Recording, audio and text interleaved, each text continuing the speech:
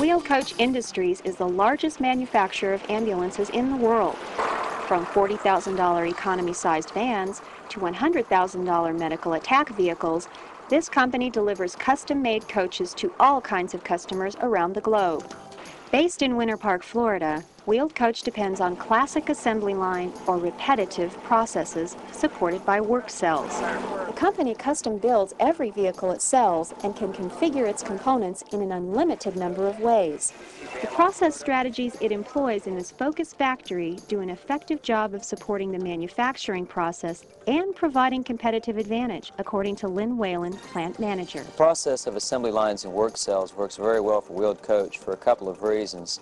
Um, the work cells give us the flexibility in manufacturing to be able to produce customized products for our customers through highly skilled people working in the work cells and lesser skilled people working in the assembly line process.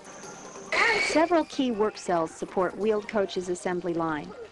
Upholstery, electrical wiring, cabinetry, and aluminum fabrication feed into the main assembly process. To better understand how the work cells support the main assembly of ambulances, let's take a closer look at one, the electrical shop. Here, skilled electricians and technicians assemble the complex set of wiring, components, and instruments that comprise the electrical background of each emergency vehicle.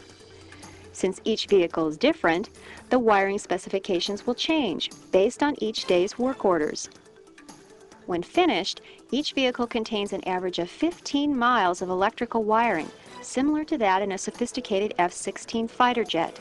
The finished electrical components are delivered to the main assembly line the morning they are needed for installation.